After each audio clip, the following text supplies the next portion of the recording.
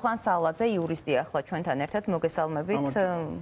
ვეცდებით მოვიპოვოთ პასუხი ამ კითხვაზე. თუ გვექნება საშუალება, ხალბატონ თამარს პირადადაც ვკითხოთ, მან თქვა რომ მედიას დღეს არ უპასუხებს. თქვენ როგორ ფიქრობთ, ვინან რა მიაღებინა მას ეს გადაწყვეტილება? გულწრფელად გითხრათ, მე მაინც გონია რომ ეს იმ პროცესების ერთგვარი გავლენა იყო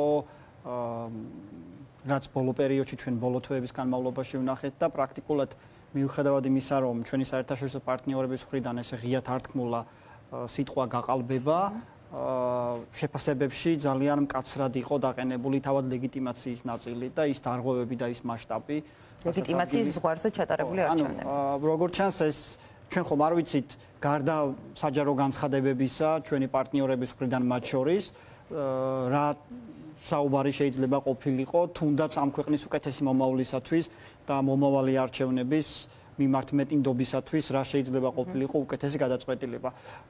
მე მგონია რომ უფრო ეს არის ამ ამ გავლენის შედეგი. შეიძლება მართლი პარტიისთვის რაღაც დონეზე მგონია რომ მართლა მოულოდნელობა ყოფილიყო, იმიტომ რომ თუ ეს მართლ პარტიას ესე დაალაგებული და გათვლილი არ ქონდა, რომ ცესკოს თავმჯდომარე უნდა შეცვლილიყო, არჩევნებამდე ამ ცირეხნით ადრე ეს არ არის კომფორტული გადაწყვეტილება მათთვის ასევე. თუ თუმცა ქართულ ოცნებას აქვს შესაძლებლობა რომ დროებით ეგრეთ წოდებული თავმჯდომარე 6 თვით დანიშნოს, აქ რა რისკებია? გასაგებია, მაგრამ ნებისმიერ შემთხვევაში ეს თავის ტკივილია ერთგვარად, იმიტომ რომ ისინი ახლა მაგალითად უზენაეს სასამართლოსთან მიმართებაში მარტო აღმოჩნდნენ პრაქტიკულად პარლამენტში, სხვა ყველა ოპოზიციური პარტიები გაემიჯნა ამ პროცესს და მიშელის დოკუმენტის ორი მთავარი, ასე ვთქვათ, ღერძი, საკითხი, ერთი ეს არის არჩევნები, მეორე ეს არის მართსაჯულება, თუ ორივე პროცესში მარტო დარჩება მართველი პარტია, ეს არაფრით არ წაადგება მთელ სამ პროცესს. ქვეყანას რო არ წაადგება ეს გასაგებია, მაგრამ არც მართველი პარტიისთვის არ იქნება საბოლოოდ კარგი. ამიტომაც გონია რომ ამანაც რაღაც გავლენა მოახდინა ალბათ ქალბატონი თამარის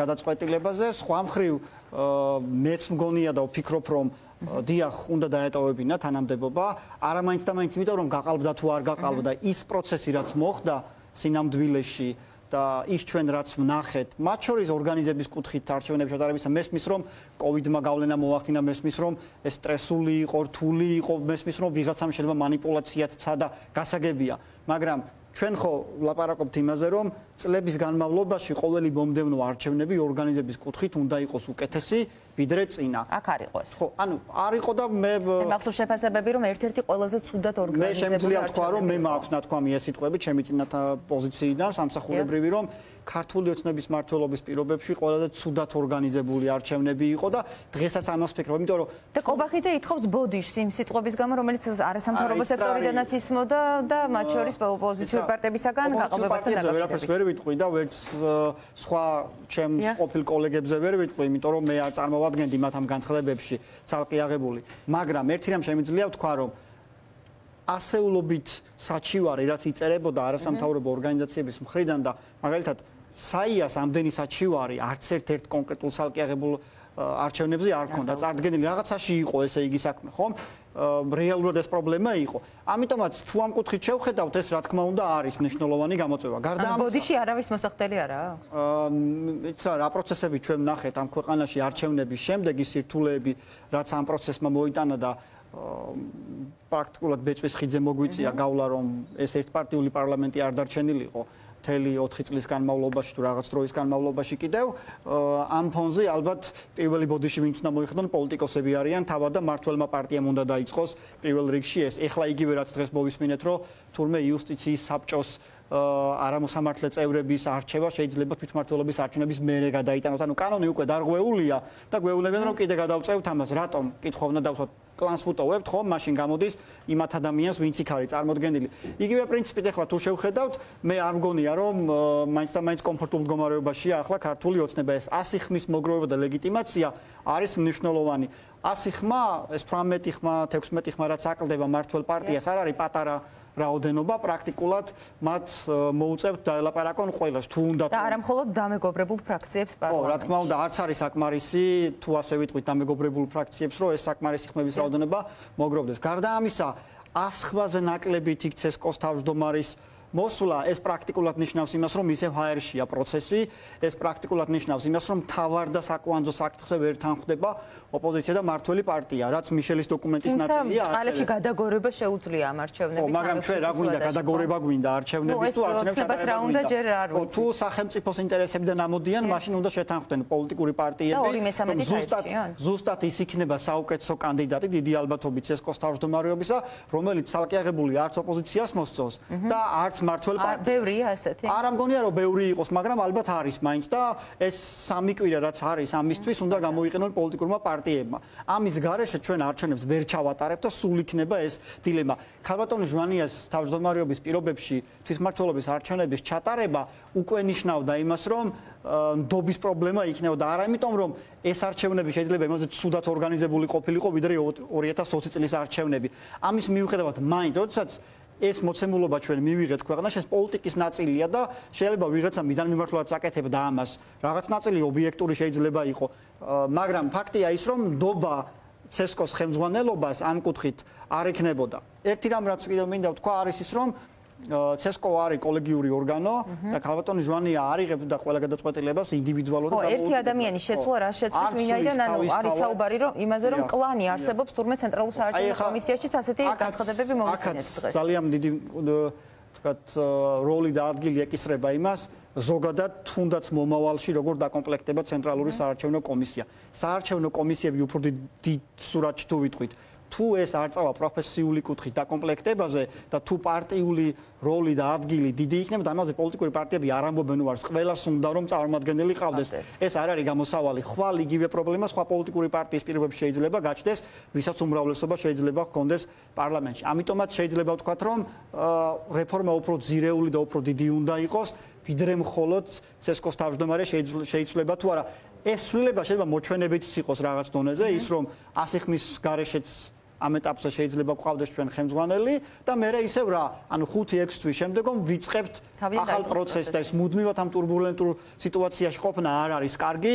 კიდევ ერთი ის გარემოება, რომ შეიძლება 53%-ს თუ ვერ იღებს ქართული ოცნება, ადამიანელი არჩევნები იყოს და წარმოიდგინეთ ახლა საპარლამენტო არჩევნები იქით და ახალი ცესკოს თავმჯდომარე კიდევ რანაირად შეთანხმდება ოპოზიცია და პოზიცია ახალ კანდიდატს. ეს პრაქტიკულად გამორიცხულია. ის რა ვიცი, მე მგონია რომ ცოტა უფრო რაციონალურად უნდა შევხედოთ ამ პროცესს გახდეს ჩვენ. ანუ ქართული ოცნება შეიძლება აცნობიერებდეს, რომ ისიც უნდა წავიდეს კომპრომისების გზით და ეცადოს ისეთი კანდიდატი მოძებნოს. მე მივესალმებოდი, რომ ასეთ ამის გაცნობიერება ხდებოდეს და არა მარტო ქართული ოცნების მხრიდან.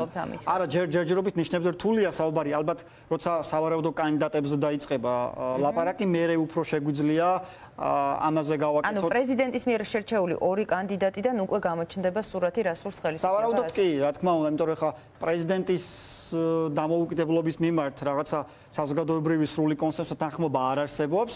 ბუნებრივია და აქაც ეს გავლენები იქნება თუ არა გავიგებთ ჩვენ, იმიტომ რომ პრეზიდენტმა სულაც რომ მოინდომოს დამოუკიდებელი კანდიდატის წარდგენა თუ პარლამენტმა არ დაამტკიცა და იქ მართველი პარტია პირველ რიგში არ მოდის ამ პროცესზე, ბუნებრივია ეს საკმარისი ხმები ვერ მოგროვდება. მართველი პარტიის გარეშე ოპოზიცია ცალკე აღებული იმ მინიმალურ ხმებს ვერ მოაგროვებს, რაც 100 ხმის ქვემოთ არის საჭირო, რომ ცესკოს თავმჯდომარე იყოს არჩეული. ასე რომ აქ მართლ პარტიას ნებისმიერ შემთხვევაში საკვანძო ადგილი აქვს მთელ სამ პროცესში. და გადაცემის ბოლოს მინდა მაინც ვკითხოთ იმ ინციდენტზე, რომელიც ალბათ თქვენც ნახეთ ტელეკომპანია TV პირველზე თავდასხმას უგულისხმობ. აი ეს გახშირებული თავდასხმები რაზე მეტყოლებს თქვენთვის და რას უნდა აკეთებდეს ხელისუფლება და არ აკეთებს ამ კუთხით მედიაზე სიტუაციის გულისხმობ. არის ის რომ ნებისმიერი პირი ვინც მედია საქმიანობაში ხელს უშლის, მან კაცრად უნდა აგოს კანონის წინაშე პასუხი. ყოველი შემთხვევა, რომელზეც პასუხისგებლობა არ დგება და პირი არ იძლევა პასუხისგებაში, ეს არის ახალისება მორიგჯერზე სხვა ასეთი შემთხვევისა. როდესაც მაღალი თანამდებობის პირები, პოლიტიკოსები მართველი პარტიიდან ხშირად თუნდაც სიტყვიერად იქცევიან ისე როგორც იქცევიან შეუფერებლად მედიასთან კომუნიკაციის დროს, ეს ნიშნავს იმას, რომ ვიღაცეებს სადღაც შეუძლიათ ფიზიკურადაც გარკვეული მოქმედებები ხო შეასრულა. მით უმეტეს ვინმე მაგო პასუხი რეალურად ამ თემაზე? აი ჩვენ ისიც კი ვნახეთ, რომ ეხა ვახოსანაიას შემთხვევაზე, რომ რეალურად ხო სხვა რაღაცები დაიწყეს, რომ რაღაც აქცია და აბა ეს და უკაცრავად ჯარგონზე პატკატებს აკეთებდა, იცით როგორც და რაღაცა ფეხბურთს სამაშო. ანუ ეს უნდა დამთავრდეს. არ შეიძლება რომ მედიას ხელი ეშლებოდეს საქმე, თუ არ მოგწონს ის კითხვა, რასაც ვავს და მიუღებელია და თვლი რომ სუბიექტურია არ გავაკეთო ეს კომენტარი და ნუ ჩაეწერები ვინმე ახლა ხო ძალად არ არის ამაზე ხო? ამ კუთხით მე ვერ თუმცა ხელისუფლებასთან აქვს ვალდებულება რომ კითხვებს უპასუხოს. რა თქმა უნდა და ის რომ რაღაც ტელე რომელიმე ტელევიზიაში დადიან და რომელიმეში არ დადიან ეს ძალიან ცუდია ასევე. და არ მგონია რომ ეს რაღაცა როგორ გითხრათ ამითი ან დამთავრდება ეს შემთხვევები ან დასჯიან თუნდაც და ამითი ეს აღარ იქნება. არა ეს არის ჩვენი ცხოვრების ნაწილი დღეს, როდესაც მედიაზე შეიძლება თავზე წამორთმაც, არ ვიცი, მიკროფონის სროლაც რაც დღეს ნახეთ. და შეიძლება შერჩევითად გამოუცხადო ბოიკოტი. კი, ეგ ამით უნდა დავასრულოთ. ეს შეიძლება, რა თქმა უნდა, ეს როგორ ჩანს საინფორმაციო პოლიტიკის ნაწილია ბევრისთვის ეს სამწუხაროდ. დიდი მადლობა